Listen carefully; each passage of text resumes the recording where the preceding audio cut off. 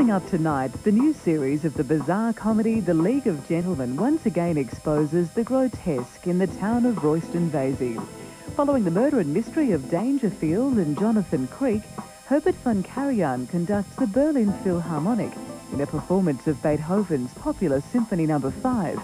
Then it's the music and mayhem of the 10.30 slot. Enjoy your evening with ABC.